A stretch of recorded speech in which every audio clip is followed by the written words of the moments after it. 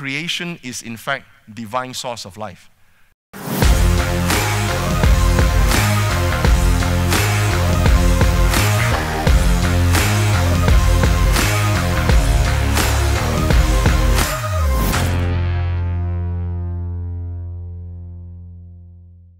All of us are a matter of divine creation.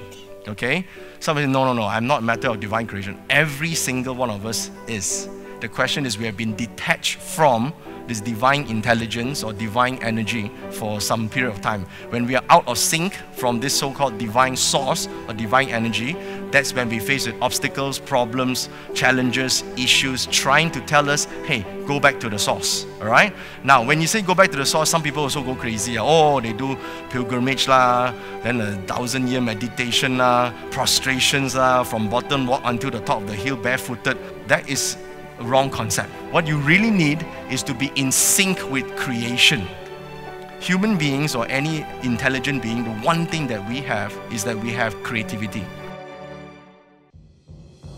We're creating, the universe is constantly expanding and creating. Whenever we face a problem, we try and create a solution.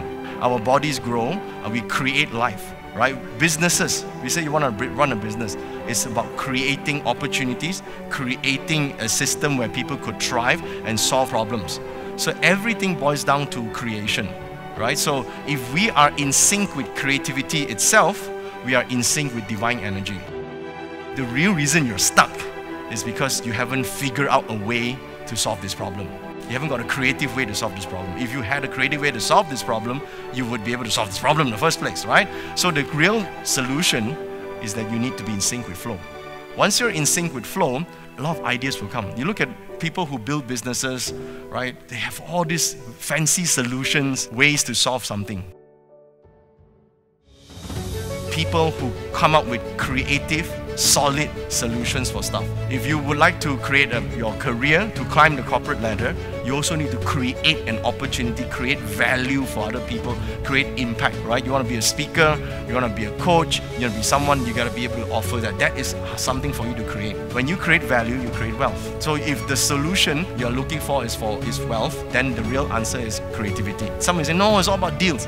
You got to be creative with the deals, right? You must know where to find them. You must know how to attract these deals. So you got to be in sync with flow.